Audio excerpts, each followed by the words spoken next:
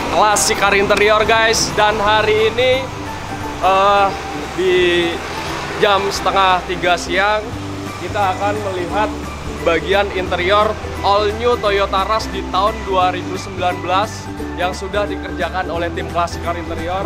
Ini interiornya kita buat semakin sporty banget guys. Eh, di mana Toyota Rush 2019 langsung dikerjakan oleh tim Klasik Car Interior.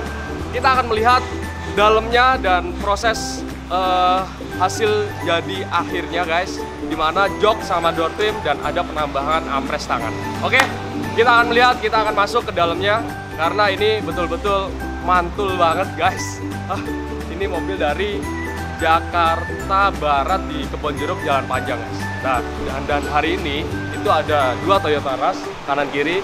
Nanti di sana akan melihat antara perbedaan yang sudah dikerjakan oleh tim klasik dan di situ ada pemasangan sarung. Kita akan lihat ini dulu. Oke. Nah, ini dia dalamnya Toyota All New Rush di tahun 2019. Ah, ini dalamnya sangat luar biasa, guys. Untuk keseluruhannya Anda bisa lihat sendiri. Dan ada bagian di headrest itu kita kasih logo perusahaan ini logonya ditaruh di headrest jok mobil Toyota Rush, guys.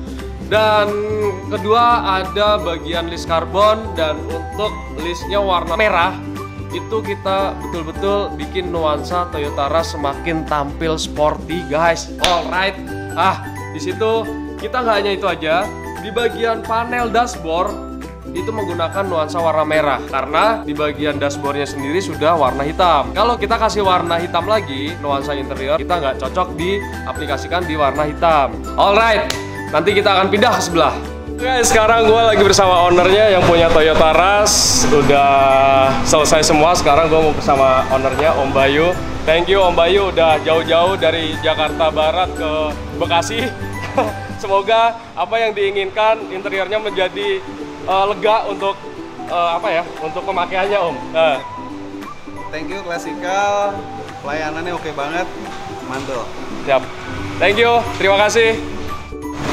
Nah inilah guys, yang mobil uh, di sampingnya Toyota Rush yang baru saja kita review dan ini kemarin sempat dikerjakan oleh tim lain, tapi kita nggak tahu siapa.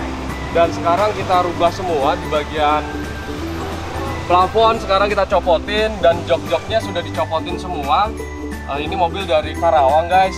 Untuk door trimnya juga sudah dicopotin semua karena uh, pemasangan itu nggak selama pemakaian guys. Jadi seandainya walaupun di luaran sana sama-sama material mungkin beda hasil mungkin.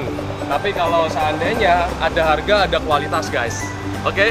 jadi anda bisa tahu sendiri di mana ini kemarin sempat dikerjakan tim lain tapi uh, si owner ini pengen dicopotin semua.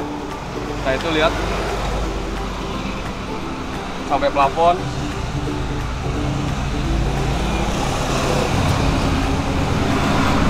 Nah nanti kita akan melihat di bagian produksi karena uh, di produksi belum dicopot-copotin yang dari aslinya. Nah itulah kita akan langsung ke produksi, ke tempat produksi dan hasil-hasil yang kemarin dikerjakan tim lain kita akan melihat. Nanti Anda bisa membandingkan antara pekerjaan klasik car interior sama yang lain guys. Oke, ayo ikuti video ini. Nah guys, coba. Dan hari ini kita juga nggak mengerjakan hanya dua unit saja. Di bagian sini ada expander, ya di sini ada expander, di belakang ada Harrier, di samping sana ada expander juga. Kita bisa melihat semuanya lagi copot-copotin. Sebelum kita ke tempat produksi, kita lihat lihat dulu di parkiran klasik. Di sini juga lagi dicopot-copotin semua. Ini lagi proses pemasangan. Dan Harrier Kalian juga juga? dan Harrier juga copot semua. Tuh, dari bagian dashboard, Ayo kita lanjut ke tempat produksi.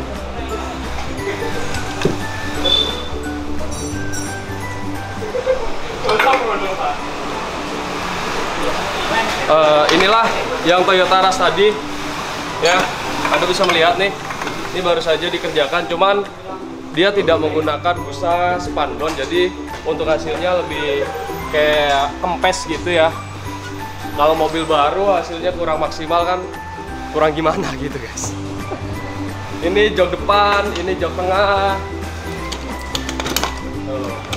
Modelnya juga sangat simpel, sederhana banget dan kelihatannya kayak kurang padat aja sih. Ya, Anda bisa komen di bawah ini.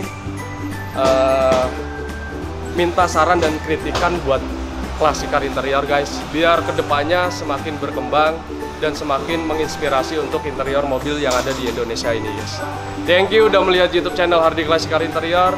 Matur suwun. Assalamualaikum